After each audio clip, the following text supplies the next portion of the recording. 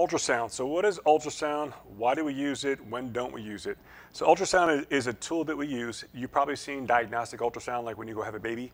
That's a diagnostic ultrasound. It just sends sound waves in, and it takes an outline of, of an object, and you can see, see an image.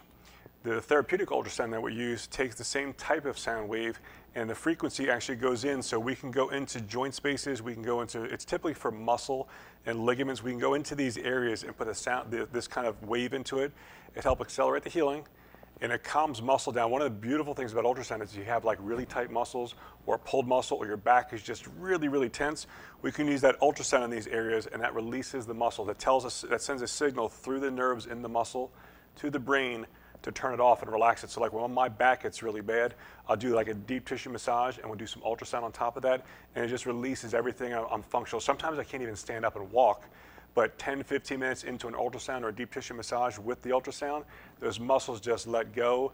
The healing happens, the fluid goes out. So it's, it's, a, great, it's a great tool that we use. So if you've got severe low back or really bad muscle pain or you've torn a muscle, we may recommend ultrasound. It's, it's one of our therapies that we, we, like to use with our medical massage at the same time. So if you had diagnostic work done, MRIs, and you have torn ligaments or, or pulled muscles, bring those in, let us diagnose those, and we can use ultrasound as part of your treatment plan.